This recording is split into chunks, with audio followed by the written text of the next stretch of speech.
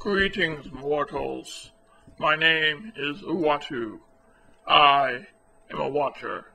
For untold eons I have observed the trials and tribulations of the planet Earth.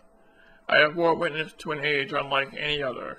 I have seen men and women become more than what they are. I have seen an age of heroes, legends, and marvels.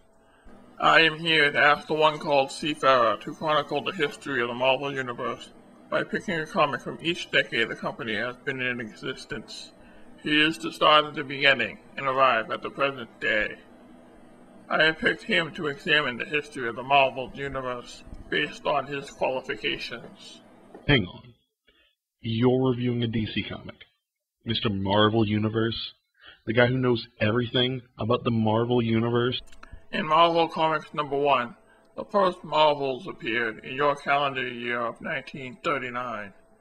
It launched an age unlike any other. Hey, I think they get it already. I was planning to review this comic anyway. Let's get a move on. Sorry.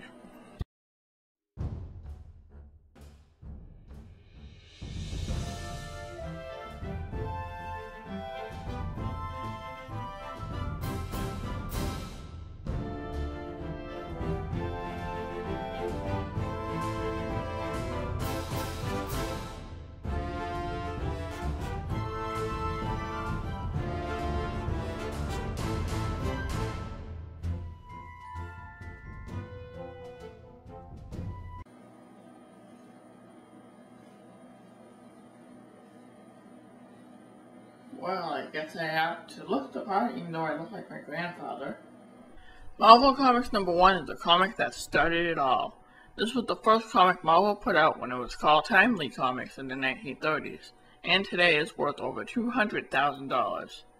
The comic itself was noted for having the first appearances of several characters that would become important in the Marvel Universe in the modern era. These characters include the original android Human Torch and Namor the Submariner, who made a second appearance in this book after he showed up in a book called Motion Picture Funnies Weekly. In retrospect, putting a character as moody as Namor in a comic that has bunnies in the title may not have been the best call. The book itself was an anthology with several people working on it. It was the sort of thing in the 30s where several writers and artists would work on one book. In this comic's case, we have Carl Burgos penning the origin of the android Human Torch, and Bill Everett writing Namor's adventure. Other characters appeared in the book, but I won't be covering them. These included the Angel, Ka-Zar, and the Masked Raider. Phew! I almost said Masked Rider. That would have pissed some people off. Right off the bat, you'll notice that some of these names sound familiar. That's because when Stan Lee and others were forming the contemporary Marvel Universe in the 1960s, they used some Golden Age character names to create all new characters that had no relation to their older counterparts. These characters included Human Torch, Ka-Zar, Angel, and an alien known as the Vision. Honestly, aside from the Torch and Namor, the others weren't as renowned or successful. Namor and the Human Torch, in my opinion, were the biggest stars to come out of this very old anthology. Both characters proved to be larger than life and had a legacy that continues to this day.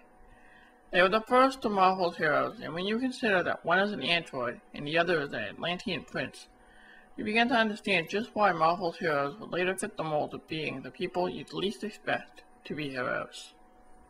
This cover is gorgeous and a classic. The Human Torch melting through a wall predates the Kool-Aid Man doing the same thing, and to be honest, I'd be more scared of a flaming man coming through a wall than some corporate mascot. Painter Alex Ross redid the cover for his series Marvels, and the guy did a fantastic job enhancing what is already a good cover that does its job of drawing the people in. The style is very eye-catching, the characters are dynamic. You'd want to buy this comic now if you had billions of cash burning a hole in your pocket. I think I fangasmed over this cover long enough. It's time to move on. Even if it is really great. Our story begins with an inventor named Phineas Horton talking to the press about the android he invented, who was also encased in an airtight tube. He explains that there was a flaw in the design of the android, as when he's exposed to oxygen, he spontaneously combusts. Naturally, the people are freaked out about this. I think this is what people really meant. Witchcraft! Hey, wait, Bob, did you see that new Wizard of Oz movie? I hear it's in color. Hmm, I don't think it'll catch on. News spread about the amazing Human Torch, and other men arrived to take a closer look at Horton's creation. They asked if there was any way for him to control the fire. Sadly, there isn't a way, and in the end they all decide that the best way to deal with a potential weapon of mass destruction is to bury it where no one would ever find it. Horton, of course, declares that he will one day figure out how to stabilize the fire. Much like other plans to bury stuff, it doesn't work as there's an explosion which wakes up Horton. He realizes that the blast came from Torch's tomb. As Torch makes his way to the town, burning everything in his path, he wonders why he is on fire and why everything turns to flame. Uh, maybe because you keep touching it? This is hilarious. The local fire department tries to put out the fire and all they get is steam. The torch seems to be having a good time seeing all the things on fire and laughing about it. Don't worry, he becomes a very important superhero later, I think. I. In an attempt to douse out the fire after figuring out how dangerous he is, he dives into a pool which promptly evaporates by the time the homeowners go to see what happened.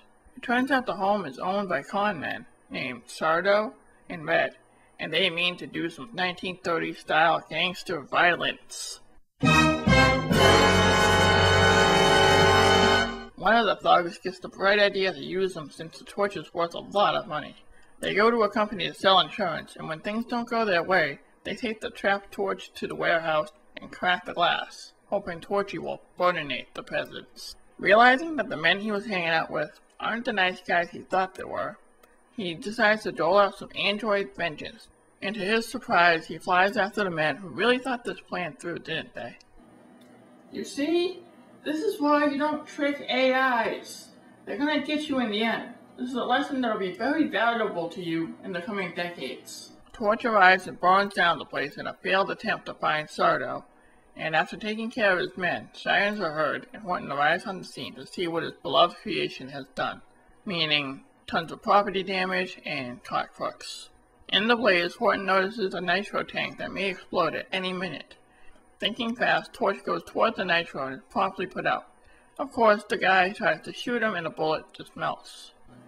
Dude, the guy saved your life. Show some gratitude, will ya?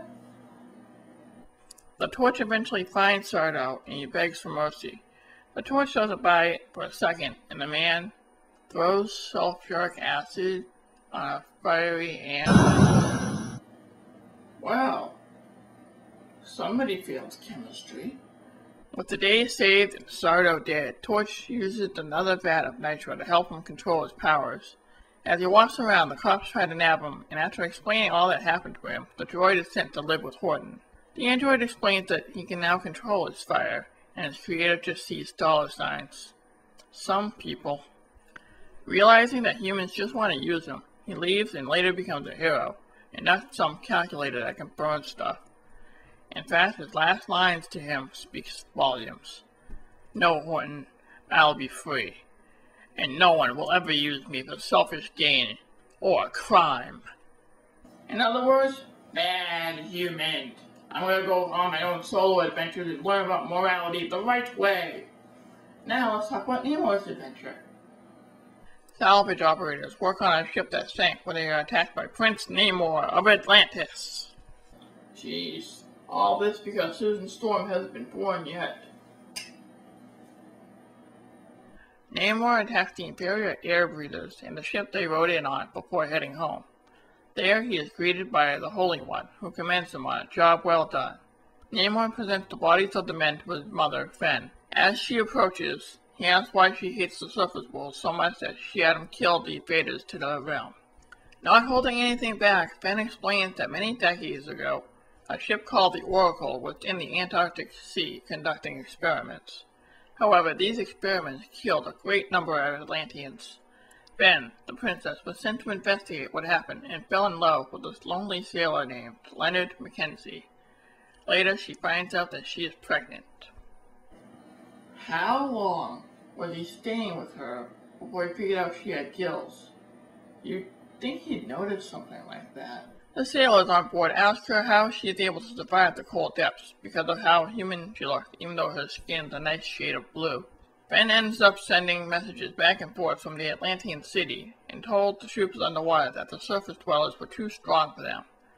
They do not listen to the princess and proceed to attack anyway. Whew, this isn't gonna end well. Because the humans massacred the troops and invaded their realm, Fen believes that the surface world must be punished for their crimes. Sometime later, Namor and his cousin Dorma attack a lighthouse, hoping to destroy some of the ships nearby. They attack some guards, and in order to escape, they commandeer a biplane and fly off into the sea. Ah, hero. Okay, okay. I know what you're thinking. These guys aren't really superheroes. Well, look at it this way. The Human Torch was used and abused by thugs, and even its creator in the end. He caught the bad guy and still left when he found out that Horton was being a greedy jerk. Torch had a sense of right and wrong and wasn't going to take being used. In Namor's case, he was out for revenge on the people who hurt his fellow Atlanteans. There's a reason why he's called the Avenging Son, after all. He wants to right what he thinks have been wrongdoings against his people. Does it make him right or wrong? That's up for debate. Still, he's got a colorful history of missteps to look forward to. At least he smashed some Nazis along the way. The last story also doubled as Namor's origin story, and we find out why exactly he hates the surface world. With that out of the way, let's examine how both of these stories fit in the grand scheme of things. This comic is good. It holds up pretty well against the passage of time. The art's good, and the stories had heroes who really weren't your typical heroes, and not anything like the extreme heroes from the 90s.